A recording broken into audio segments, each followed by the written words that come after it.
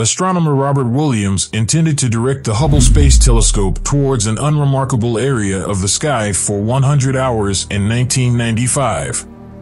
His co-workers rebuked him since they believed it to be a bad idea and a waste of the telescope's valuable observing time.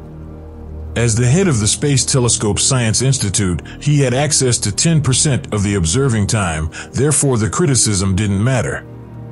With it, anything was possible.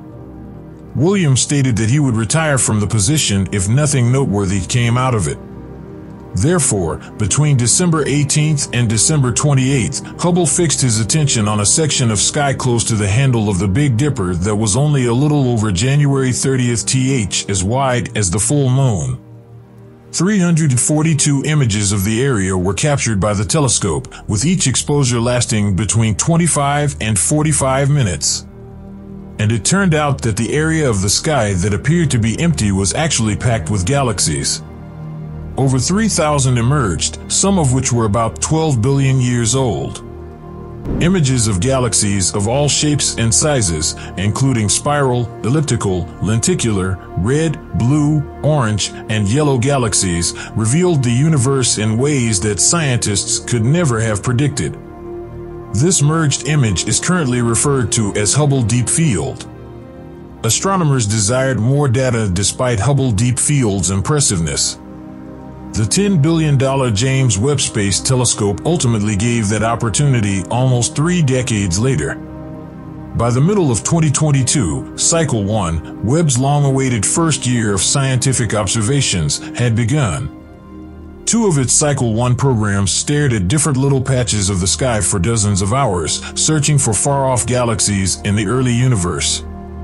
Astronomers did not anticipate anything extraordinary, they anticipated that these two short period Cycle 1 programs would provide them with an improved version of the Hubble Deep Field. Instead, to their surprise, such galaxies suddenly appeared in their field of vision. Galaxies that must have existed in the first 200 million years after the Big Bang have just been discovered by astronomers. The abrupt opening of Webb's windows to the last significant undiscovered period in the history of the universe excited the scientists. But those galaxies were not at all what we had anticipated. They were instead incredibly luminous and had stellar masses that were billions of solar masses. These enormous developed galaxies defy the predictions of our accepted theory of the development of the universe. So, where did we go wrong in our models? How can the James Webb Space Telescope's latest extragalactic sightings be explained? And most significantly, do these findings indicate that the Big Bang Theory is incorrect? Let's go back to the time when it was thought that the universe first originated in order to solve the puzzle. All four of the known fundamental forces had already separated from one another in the first second following the Great Bang. The initial particles that make up the universe were extremely hot and dense. Helium and other extremely light element nuclei started to develop during the course of the following three minutes as the cosmos expanded and cooled.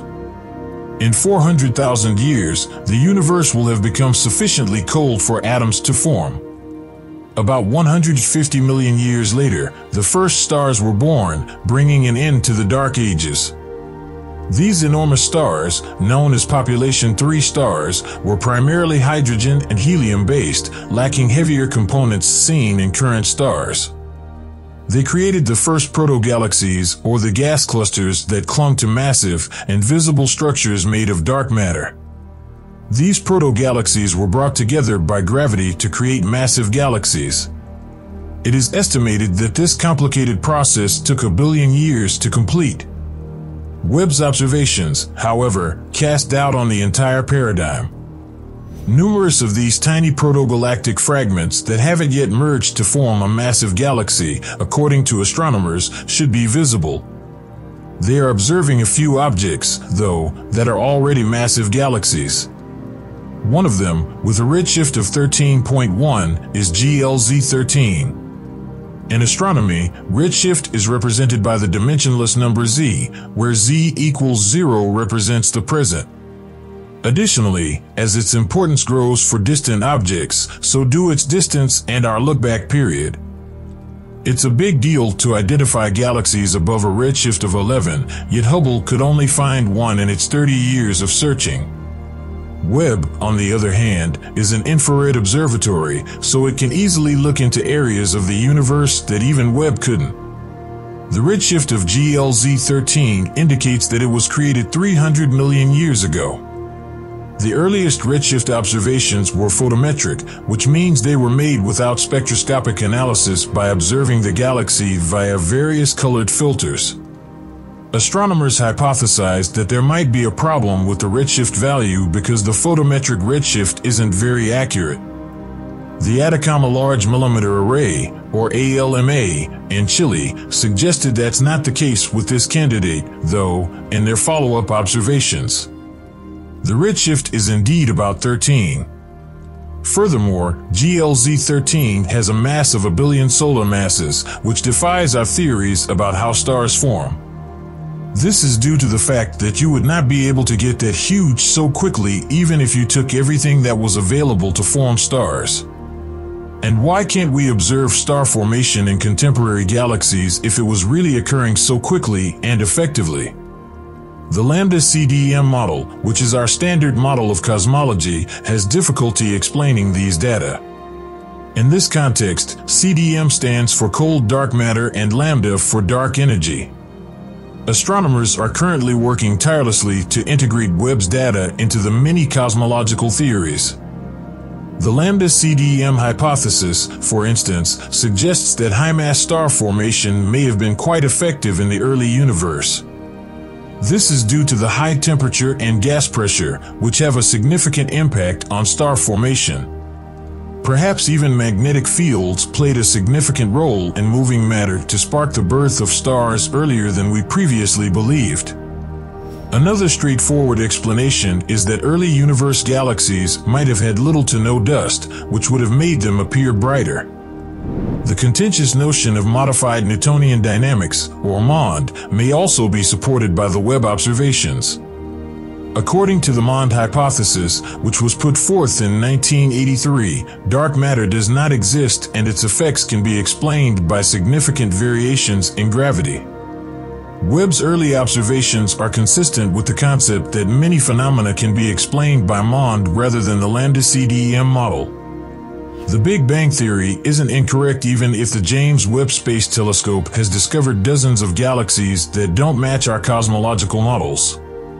This is due to the fact that it has been supported by a large body of observational evidence over the past century that cannot be ignored. For instance, the Big Bang makes precise predictions about the amount of each element that was created in the early universe. The abundance of each chemical element that astronomers observe in very old galaxies and stars supports the Big Bang Theory. The redshift of far-off galaxies also fits the Big Bang Theory.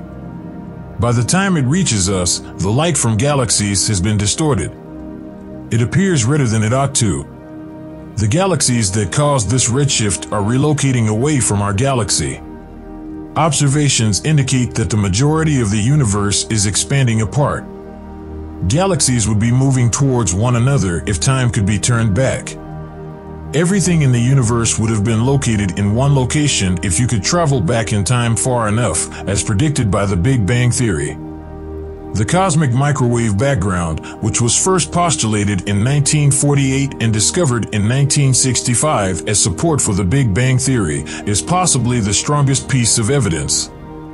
The initial Webb extragalactic programs have demonstrated the need for adjustments to our star formation and galaxy development models. By studying a larger portion of the sky for hundreds of hours, the future Cosmos Webb program is anticipated to significantly boost the population of early galaxies. Astronomers anticipate discovering thousands of such galaxies, which will improve our database and allow us to create precise models. According to some calculations, Webb might observe objects 120 million years after the Big Bang with a redshift of 26. It would be a turning point in astronomy if it turns out to be accurate. If you liked this video and want to make sure you don't miss any future ones, please like and subscribe to our channel.